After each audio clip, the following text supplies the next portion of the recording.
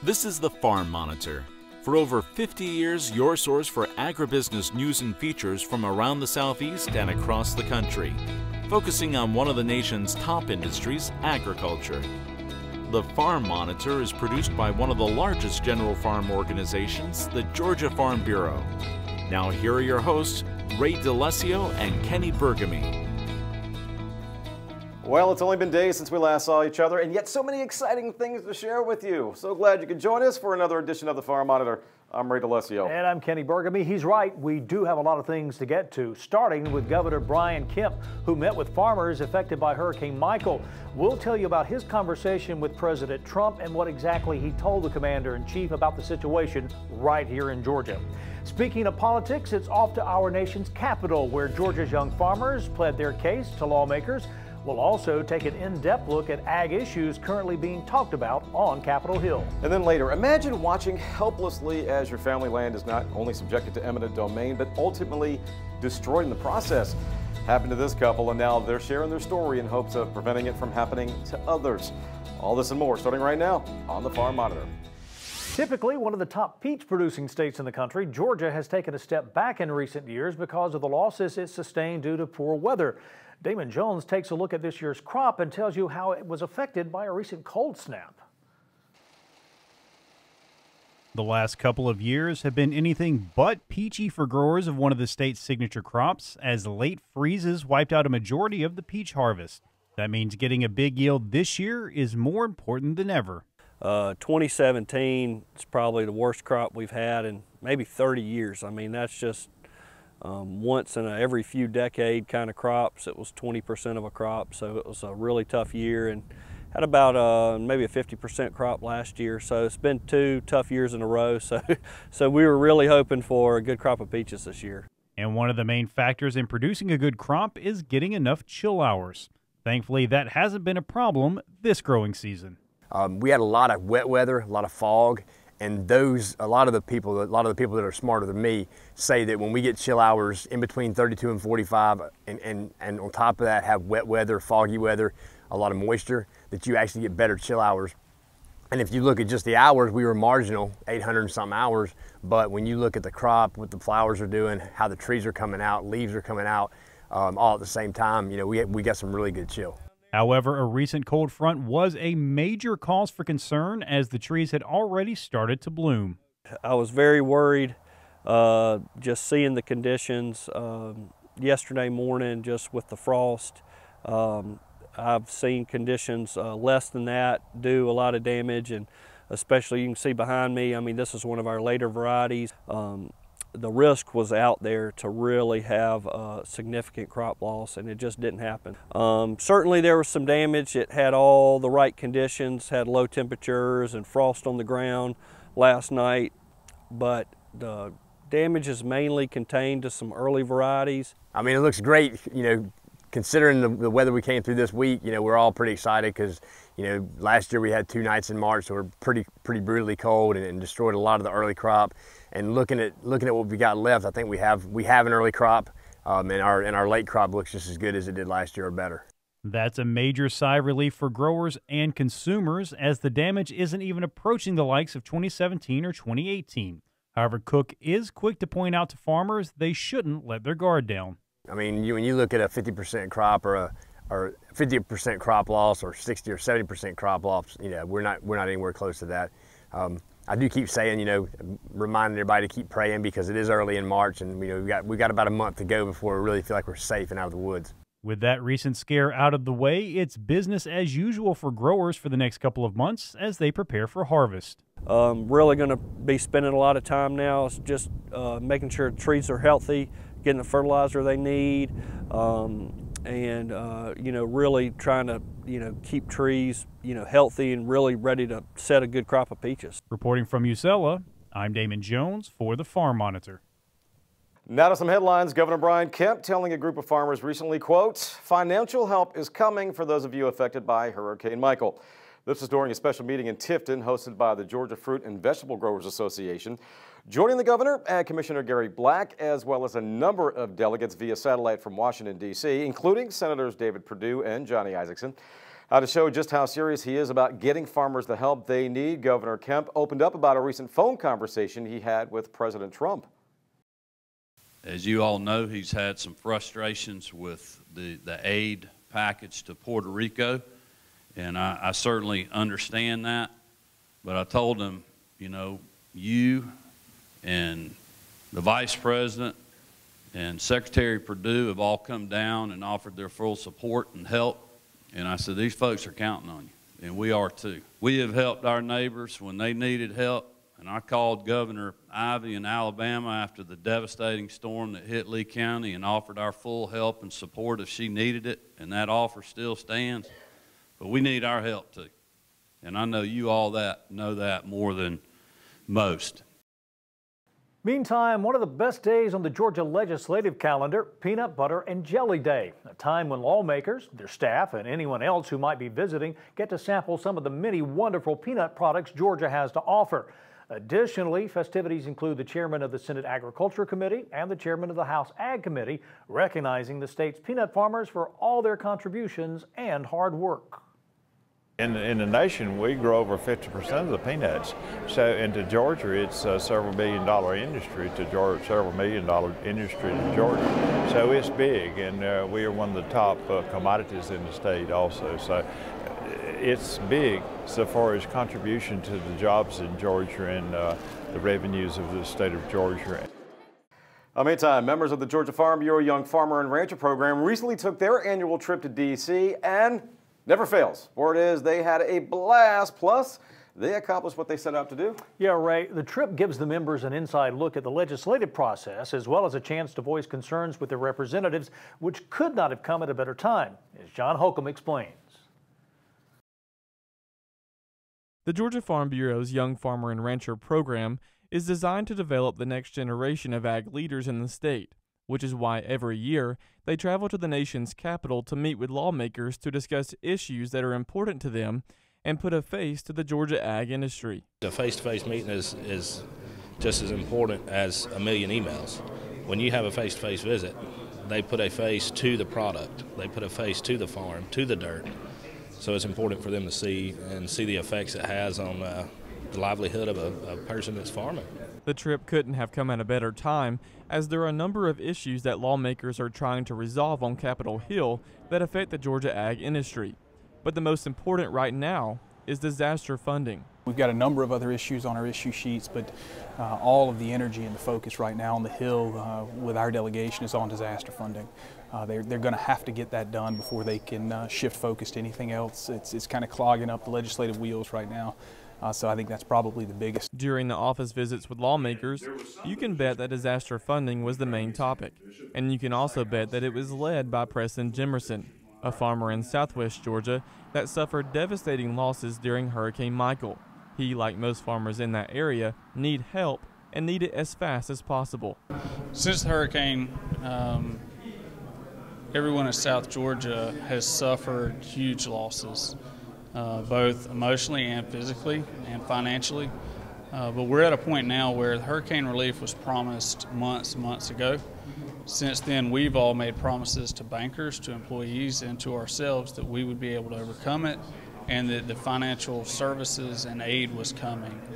Uh, we're now at a point where if financial aid does not come very soon, you will see widespread bankruptcies and failures in the farm level in our state. After the meetings with the congressman, Preston, along with the rest of the group, feels confident that lawmakers are working their hardest to bring help back to Georgia. It was very reassuring to know that this isn't something they have forgot about. That's the way we feel in Southwest Georgia is that maybe we have been forgot about. But you come here and get reassured that that in fact is not the case. They they are still fighting just as hard as they always have and we finally got to a point where it seems we may be gaining traction. And that confidence isn't misguided, as Congressman Austin Scott says that disaster funding isn't looking like it's too far away at this point. I'm disappointed that it's taken this long. I'm, I'm happy at the same time that the number is a reasonable number uh, for, for covering the losses. And I'm hopeful that uh, certainly before uh, the Easter uh, the two-week Easter recess, that we would have a bill signed and um, and hopefully within a couple of weeks within uh, four to six weeks at the outside, outside uh, have money actually making its way to the producers. Reporting in Washington for the Farm Monitor, I'm John Holcomb. John, thank you so much. After the break, he started his own cattle operation when he was 11 years old. Now, this Berry College student is being recognized for all his hard work. Like us, when you hear his story, we think you'll be equally impressed. Stay tuned.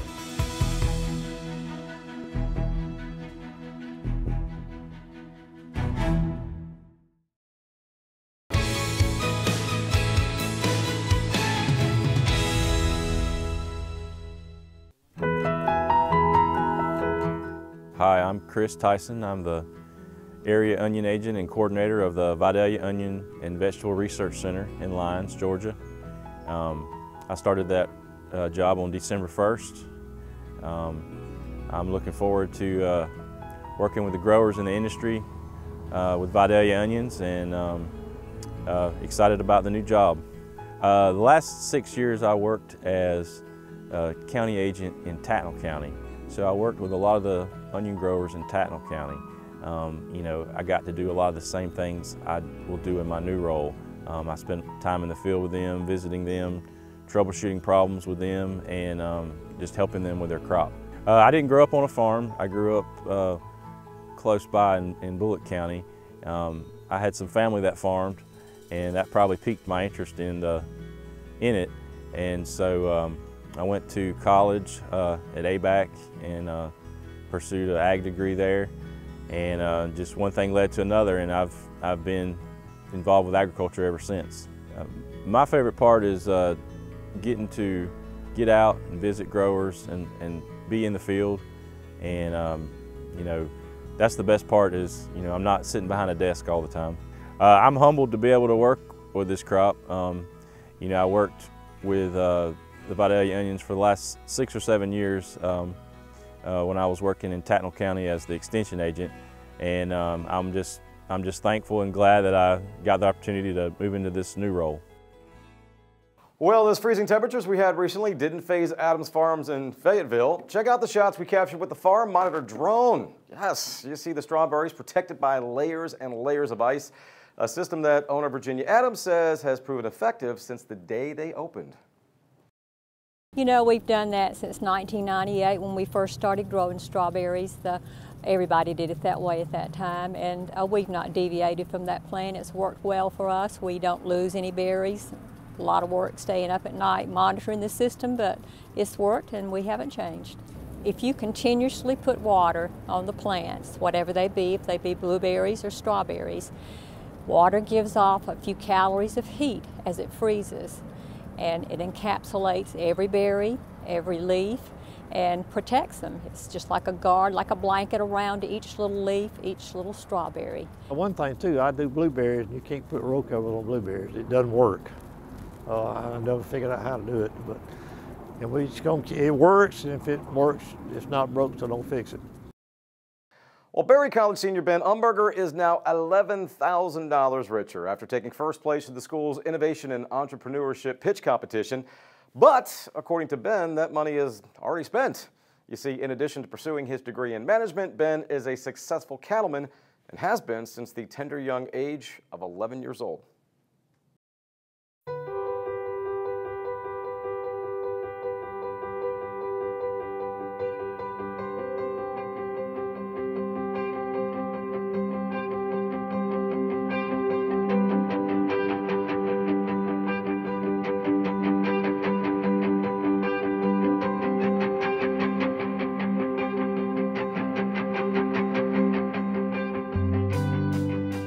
Grew up on a small hobby farm and we had a couple horses and that sort of thing. Uh, my dad grew up on a big farm and I had always wanted to raise beef cows. I was always drawn to like the cowboy movies, um, but I couldn't convince my dad to buy any cows. And so he was like, well, if you save up your money and you buy a calf, you know, you can do that. Um, and, you know, that's okay with me. And so I started working for my neighbor who had uh, commercial chicken houses. He had layer hens. And so after school, I would go and pick eggs for him until I saved up my money and then retired from that and uh, bought my first calf. And really what I started doing was buying orphan calves, like whose mothers had died and stuff like that, and bottle fed them because I didn't have a lot of pasture to raise full-grown cows, but you know, we had a little barn and a few acres. And so for me, that was something that I could manage easier on my own at that 11 years old.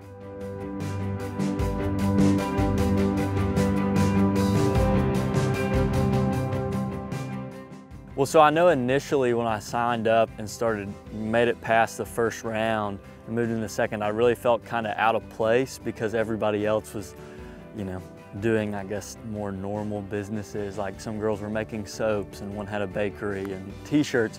And then I was there raising beef cows. And so I really felt kind of out of place and sort of awkward because, you know, it's, it's nobody else was doing anything with agriculture. Um, and so, yeah, at first it was kind of, felt out of place, but then just realized that no, like this is something that's still really cool and it is different, but people do want to hear about it. It's really been encouraging and really just awesome to be part of that because recently, you know, I, have borrowed money to sort of expand my farm and expand my business, but you know, just like you and most other farm people know is farming has a lot of expensive inputs and so you really have to increase your production. And so for me, this has really allowed me to sort of get that, that jump almost like to the next level that otherwise would take me a few years to sort of manage and, and slowly build up to. I know a lot of times school has a tendency to, to get pushed back the last thing on the totem pole just because that can be done at night. Um, and you know, so a lot of staying up late to, to do my schoolwork and stuff, but then during the day, trying to you know keep up with all this stuff on the farm, looking after it, um, but yeah, just a lot of really long hours and a lot of having to say no to a lot of other things um, that you know most people I guess otherwise wouldn't have to say no to. Great future for that young man, that is for sure. Now, when we come back, advocating for eminent domain reform in the state of Texas. The emotional plea from this farm couple who says they were taken advantage of and the warning they have for others.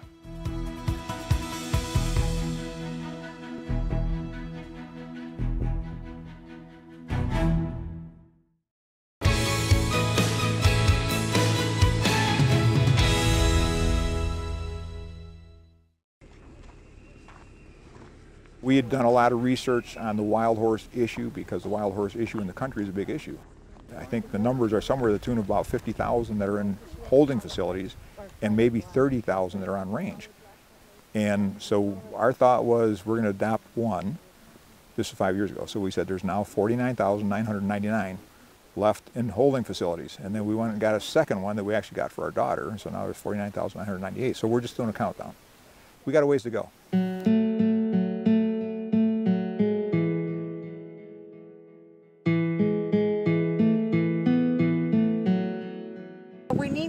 Save them. These are the last living legends and legacy of America's past. We cannot let that pass away. We need to help these horses.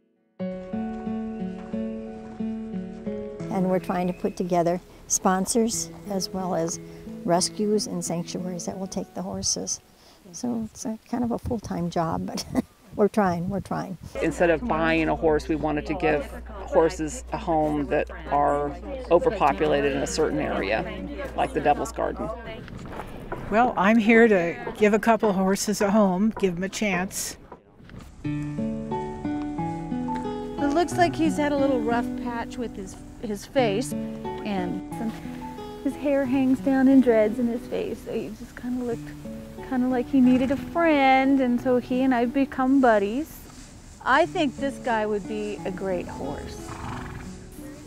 He's number 439. He's right there in the middle. The bay? Oh, yeah. No, and behind this bay. He's got scars on his face. But it has been healing in the past four weeks that he has been in here. He just has such a great disposition. He'll come to me when I call him. Hey, Bob, come on. Come here, Bob. Come here. I got food for you. Come here. No? Okay. But he's super healthy and uh, very well built. And he'd be good for somebody to take home.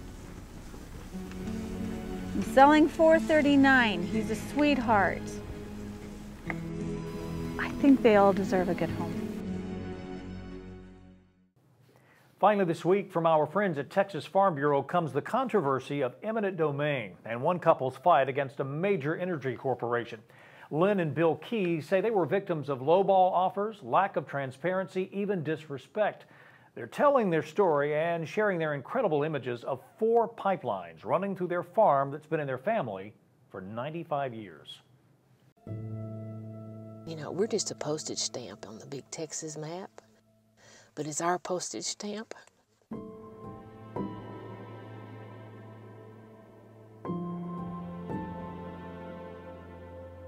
They do have the right to take your land, but they don't have the right to take advantage of it.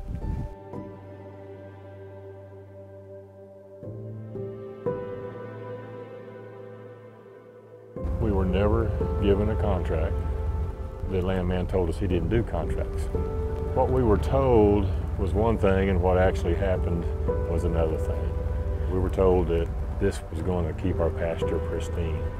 Over the months that they were here with the trucks that ran up and down our pasture, it was decimated. The initial offers were terribly low. The more we have studied this, we find out that's what happens everywhere. And the thing is, some people go for that. And that's a shame because they're taking advantage of people that don't know what their rights are. Obviously, they're not going to come up to what's really reasonable. Uh, so they come back with a, what they call a final offer. It makes it look like they're suing you for $100,000. Well, that's not the case, but that's the way the verbiage looks. So it scares you.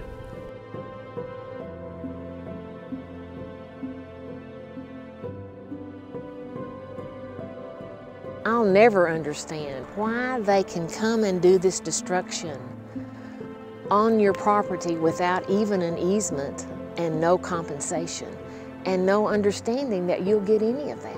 The, the way it's set up, it is not fair to the landowner. The landowner doesn't have an equal shot or a chance to stand up and say, no, that's not fair, and to negotiate something that is fair. For me, it's lack of communication. And disrespect, lack of telling the truth. Being Uh, misled, misrepresented, with no moral compass. We don't want to be victims. We want to be partners Right. because we are for uh, Texas Energy. Yes, and we uh, want that we're West Texans. We understand that. But this is beyond uh, comprehension that they would allow these things to happen to the landowners. So that's what's hard.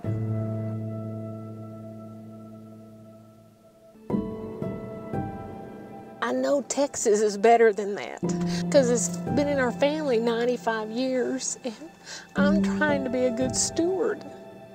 And I feel like I've failed.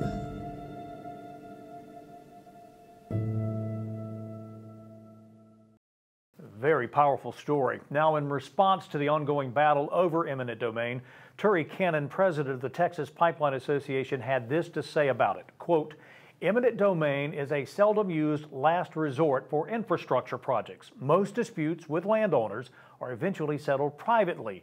He added, while we are not opposed to addressing changes that might improve the process for landowners, we feel that proposed changes should result in sound policy and not increased litigation, adding delays to the process and making only the lawyers wealthy. And the fight continues. Well, that's going to do it for this week's edition of the Farm Monitor. Here's a reminder for all the latest ag info regarding food, great recipes, and what's happening out on the farm. Be sure you check out our Twitter, Facebook, and Pinterest pages. You'll stay informed and see what's up in the world of farming, plus with us here on the show. Take care, everybody. We'll see you next week right here on the Farm Monitor. Have a great week.